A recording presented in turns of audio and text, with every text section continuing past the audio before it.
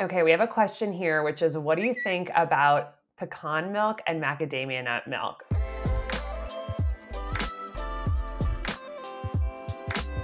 First of all, either of these can be fine. The most important thing is that you're buying a version that does not have sweetener in it. And these nut milks are so sneaky because I have gone to so many coffee shops and said, oh, do you have any unsweetened nut milk? And they say, oh yeah, all our nut milks are unsweetened. And then the few times I've asked to see the box, there's like seven, eight, nine grams of added sugar. So um, you really have to be vigilant and make sure you're buying the box that is actually unsweetened. Between pecan and macadamia nut, I think pecan is actually probably a better choice. It's a lower sugar nut than macadamia nuts naturally um, because all nuts actually do have a little bit of sugar naturally in them and pecan has lower than macadamia. Um, and then you want to, you know, of course, try and find one that's organic if you can without a lot of the gums and fillers. Personally, I love to make my own nut milks. It's so easy. I'll tell you in two seconds. You take one cup of whatever nut you want to use and you take three to four cups of water, put those together in the Vitamix or another high powered blender, pinch of salt, a little bit of vanilla, blend until it's all homogeneous, about one to two minutes, strain it through a nut milk bag, which are like $5 on Amazon, and you've got a ton of two ingredient, delicious, thick, creamy nut milk. So try it out. It's really, really good. Ooh, this is a good one. One of the questions here is what are the best foods to eat to gain weight while keeping blood sugar stable? Ooh, that's a really interesting question. Not one we get as frequently since more people are uh, thinking about how to lose weight, but it's, it's a good question. I think um, what you're getting at here is that we want to keep blood sugar stable for optimal health and we want to keep our insulin spikes down for optimal health over the long term. But some people do want to put on weight. And so, um, you know, the best strategy here is probably going to be trying to put on muscle um, more so than trying to gain fat. So that's going to be more a question of how do we best hypertrophy uh, our muscles to gain weight. And so this is going to come down to um, really making sure you're getting the right workout strategy in um, for, for muscle gain um, and supporting that with all the nutrients that you need to build muscle. So, of course, this is going to be healthy proteins. Um, so, you want to think about clean, whole food proteins. So, things coming from wild caught fish, uh, pasture raised chicken, um, free range beef, uh, eggs that are pastured. Um, you want to think about plant based proteins like organic beans, legumes, nuts, seeds. Uh, these are all going to be great sources of protein. And then all the other nutrients that are really important for maintaining cellular function. So, all the micronutrients um, that you're going to get from whole foods. So abundance of fruits, vegetables, and thoughtfully sourced animal products. So that's really, I think, the focus is if you're going to be trying to put on weight, try and put it on with muscle, not fat, and support the body with, you know, really healthy um, whole food proteins and micronutrients. And then, of course, um, when you're choosing fats as well to get more caloric density in the diet, um, also make sure you're choosing the low glycemic you know, whole food forms of fat. You don't want the processed foods that have fat in them. You want things like um, coconut, avocado, olives, nuts, seeds, nut butters, again, thoughtfully sourced beef or fish. Um, and so those would be kind of some of the best options, I think. All right, so we got a question of someone who is having protein pancakes for breakfast and they're getting a big spike. Um, even though they've actually eliminated putting maple syrup on it, there's still a big spike. And I think the question is like, oh my gosh, I'm having these protein filled pancakes. Why am I still having a spike?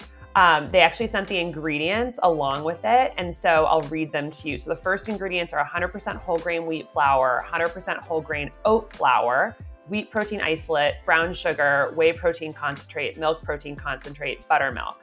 So for me, this is like a, a this one's a pretty clear cut case. This is the whole wheat flour and the whole grain oat flour and the brown sugar all together. Those are gonna all contributing to a glucose spike because wheat flour and oat flour, when those you know carbohydrates are processed to create flours, when you digest them, they're basically just turning into glucose in the bloodstream. So even though this has um, 14 grams of protein per serving, that's just probably not going to offset that amount of refined carbohydrates, which again, just basically turn into sugar in the bloodstream. And the product also has brown sugar in it.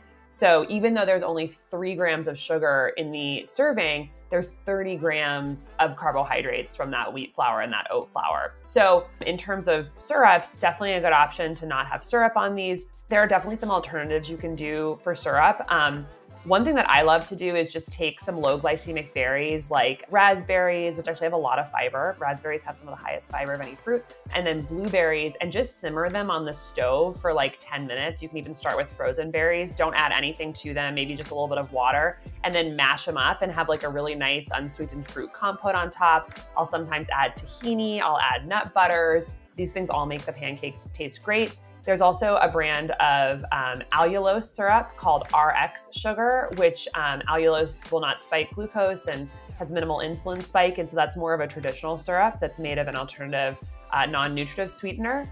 Um, and then in terms of pancake alternatives, there's actually a lot of really cool things out there that you can do instead of these store-bought um, pancakes made with grains.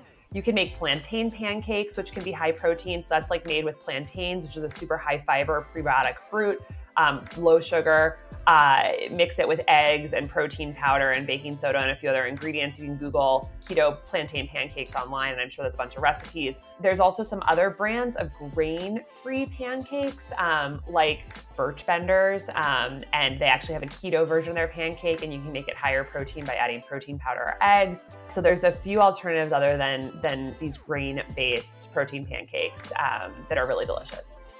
Okay, we've got a question about one of the foods that we talk a lot about in the levels world, which is oatmeal. This person asks, what are some healthier carb alternatives to oatmeal? I've been eating very low carbs since January, but want to reintroduce some more carbs in my diet um, a few days a week. So first of all, we're talking about oatmeal. The there's different types of oatmeal, right? There's rolled oats, which are kind of like a processed version of oatmeal, and then there's less processed versions. So there's like steel cut oats, and then there's actually groats, which are like the most chewy and whole food form of oats. So steel cut oats and groats are going to be a way to get carbohydrates via oatmeal that are that are likely to less spike your glucose. And then of course you can also modify the oats um, to make them have less of a glycemic impact by adding fat, protein, and fiber on them. So some of the the best uh, sort of things you can add to oatmeal to, to help stabilize the glucose spike would be things like nuts, seeds. We especially love flax and chia, or really any type of nut you know, nut butters, coconut oil, coconut flakes, hemp seeds. You can also do a savory oatmeal bowl and add like smoked salmon or avocado. Um, you can also scoop in some unsweetened protein powder. So there's lots of different ways to put stuff on the oatmeal that, that blunts the glycemic response. Um, we have a blog post about this actually on the Levels blog about healthy alternatives to oatmeal. We have a really wonderful recipe on there that is a warm chia flax and hemp pudding that's from our um, good friend Kelly LeVeque. And so this is more like a seeded nut-based oatmeal, but really still has that same like savory breakfast um, quality. So those are some things you can do to oatmeal. Um, and then term in terms of bringing in other carbohydrates to your diet, I think the the focus should just be on whole food forms of carbs. You know, don't jump for the the bread or the pastas or things like that that are going to be made with ultra refined white flour. Stick with the whole food forms of carbs that are just full of nutrient dense foods. So things like um, you know, the sweet potato, um, you know, if you're trying to bring in more carbs, um, things like squashes or maybe some organic, colorful potatoes like purple potatoes or something like that. You can also, of course, bring in some whole fruits and incorporate those into your diet. So those would be the main main recs I'd have.